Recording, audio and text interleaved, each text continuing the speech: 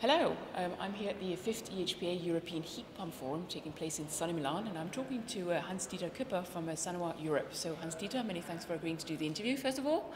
And uh, why don't you first tell us a little bit about what your company does? Yeah, uh, Sanhua is a producer of um, HVAC components, um, components for HVAC and refrigeration uh, circuits, as well as for heat pumps. Um, the background is uh, air conditioning systems for automotive industry. Um, they are in the market, in Asian market, um, one of the market leaders, and now uh, doing the first steps into to the European markets. Um, I'd like to focus a bit on the um, components that obviously altogether make up the uh, the heat pump. Do you see a demand for more cost-efficient components to be introduced into systems in the future? Yeah, I think it's very important, especially for heat pumps, as they are competing with um, established systems like uh, burner systems, um, which are in the market since decades with um, high quantities, and the um, market prices are quite low.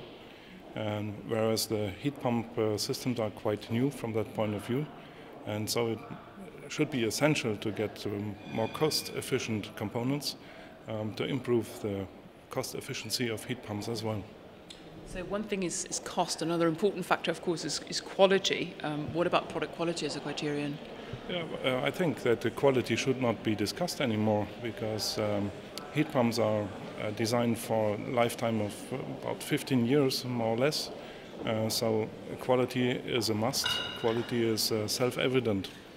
And so I would expect that um, suppliers who have um, quite nice background from this um, point of view uh, should be um, the preferred suppliers for heat pump manufacturers.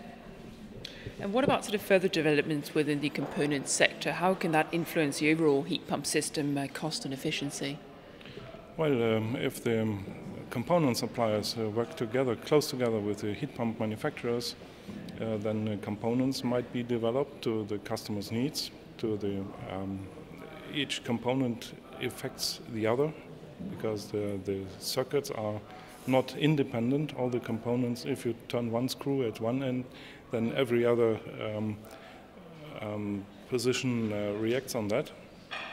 And so it's uh, um, necessary to understand the complete application and so that uh, yeah, the improvement in, in one part improves the whole circuit. And what's uh, what's in the pipeline? What can we expect to see in terms of sort of new uh, components in the next few years? I mean, where are we heading? Uh, well, in terms of uh, electronic controls, there is a huge space for sure.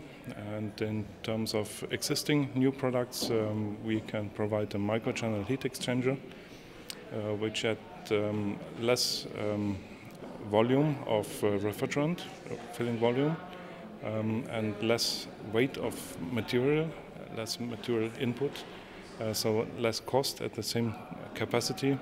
It uh, provides a much higher efficiency than fin and tube um, heat exchangers.